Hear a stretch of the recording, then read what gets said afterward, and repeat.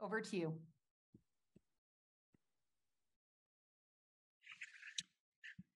My name is Kara Brisson Boivin, and I'm the Director of Research at Media Smarts. This week is Media Literacy Week, and today marks the first annual Digital Citizen Day.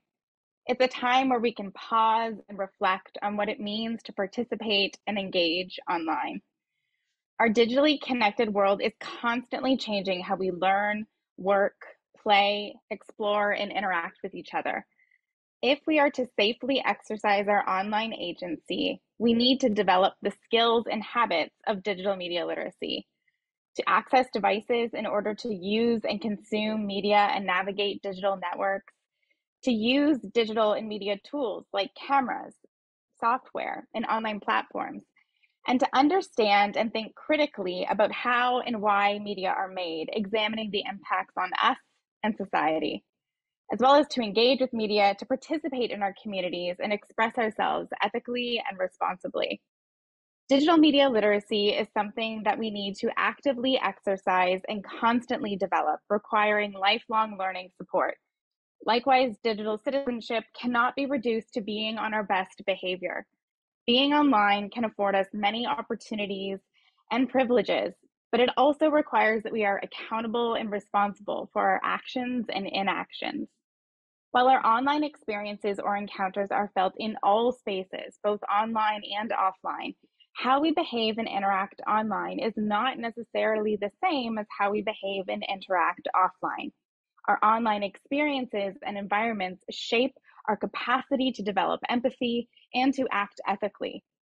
Aspects of digital communication can lead to empathy traps, which can prevent us from feeling empathy in situations where we normally would. When we're using the same screen to talk to our friends that we use to watch House of Dragons, and when we can't see the person we're hurting or copying from, it can be easy to forget that what we do online matters. A lack of sensory feedback can make us less likely to recognize how other people are feeling when we're online. Some of the things that would generally trigger empathy in us, you know, a person's tone of voice, their body language, their facial expression, this can be absent when we interact with them online. And it can lead us to say or do things that we wouldn't normally do offline.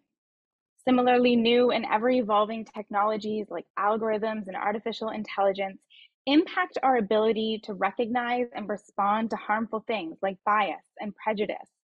In fact, there's significant research on how online platforms amplify inequities and online harms for more views, engagements, and ultimately more profits. And users don't have to en- encounter overt hate speech to be exposed to hate online. Much more common are cultures of hatred, communities in which racism, misogyny, and other forms of prejudice are normalized. Not everyone experiences the internet in the same way. Many people that are racialized, gender and sexually diverse, living with a disability, or who identify as female actively disengage from online spaces and avoid online interactions due to safety and well being concerns. We also can't assume that everyone has equal access to the internet and digital devices. Increasingly, businesses, services, and even democratic processes have migrated online, and citizens who lack digital media literacy skills risk being disadvantaged when it comes to accessing healthcare, government services, and opportunities for education, employment, and civic participation. Access is the critical starting point for developing digital literacy skills necessary for ethical digital citizenship and online agency. So we're back to this new and evolving idea of digital citizenship. What does it mean to be an ethical digital citizen? What are our responsibilities to each other? Well, the core or founding principle of digital media is that they are networked or connected. Everything and everyone online is connected to everyone else. The internet is not a silo, nor is it a vacuum. We are attached to each other, quite literally in the online sense, in this infinite web of nodes and connections. And that connection comes with responsibility. It warrants that we pause before we share something, check the sources of our information, intervene and report in situations of online abuse, racism, and sexism, and use our collective power to hold platforms and governments accountable for addressing our online safety, equity, and privacy concerns.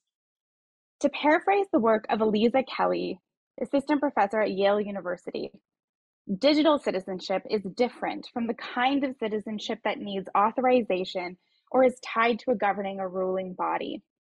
We have the opportunity to retool citizenship in the online or digital context by working together to build and support collective online resilience.